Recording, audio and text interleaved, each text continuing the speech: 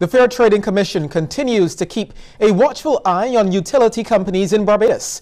This is according to its chairman, Jefferson Cumberbatch. He says a decision should be made soon on standards for the Barbados Water Authority. This follows a consultation paper and three town hall meetings to gauge public opinion. Mr. Cumberbatch was speaking during the Commission's recent 13th annual lecture. Consumers provided invaluable information that will inform our determination of the initial standards of service for the BWA, especially with regard to the levels of remuneration in cases of breach and the optimal targets to be, to some, for some standards. National Petroleum Corporation has been approved for a 34 million US dollar loan from the Inter-American Development Bank. The IDB loan is titled Deployment of Cleaner Fuels and Renewable Energies in Barbados. The business report understands a new project execution unit is to be set up by June to carry out the tasks of the loan. The main objectives of the project are to enhance the island's energy security and sustainability by diversifying its energy matrix through the promotion of fuels and increasing the use of renewable energy sources. In an advertisement today, the NPC is seeking to fill several positions for that new unit for a period of two years in the first instance.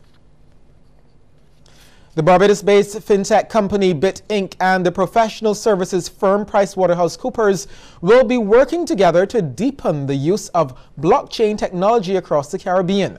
And the two companies have executed a memorandum of understanding to this effect.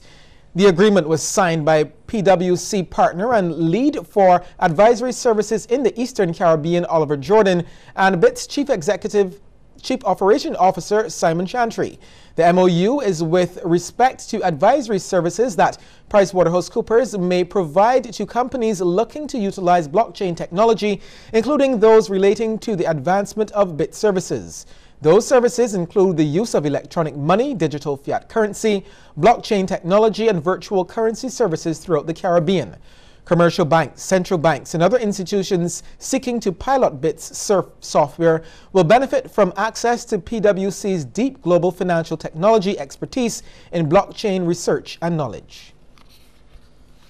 Time now to take a look at how stocks traded on selected exchanges across the region.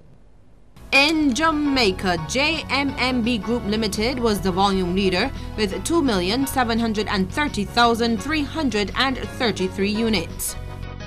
In Trinidad and Tobago, JMMB Group Limited was the volume leader as well with 47,322 shares changing hands, all for a value of $57,732.84.